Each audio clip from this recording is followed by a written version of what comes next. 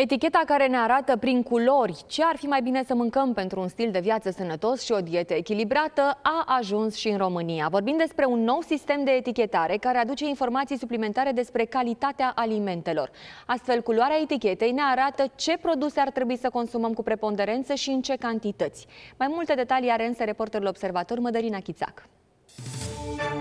Bun găsit! Eticheta prin care se poate evalua un anumit aliment a apărut uh, deja pe mai multe produse de pe rafturile din România. Vorbim mai exact despre sistemul Nutri-Score. Este un sistem care ne oferă mai multe informații despre cât de sănătoase sunt produsele și cât de des ar trebui să le consumăm. Ce este mai exact acest sistem Nutri-Score? Este practic o etichetă lipită pe ambalaj care conține mai multe culori, dar și litere. A. Verde închis, B. Verde deschis, C. Galben, D. Portocaliu portocaliu și E roșu.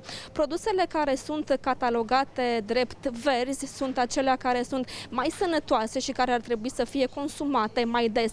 Cele marcate cu galben ar trebui să fie consumate cu moderație, iar cele care fac parte din categoria roșie ar trebui să fie consumate mai rar, pentru că ele sunt bogate în zahăr, în sare, dar și în grăsimi. Practic, acest sistem Nutri-Score ne spune cât de nutritiv este un anumit produs. A fost deja implementat în Franța, dar și în mai multe state. Ce spun clienții despre acest sistem, cât de mult îi ajută, ce spun retailerii? Aflați în această seară la ora 19 la Observator.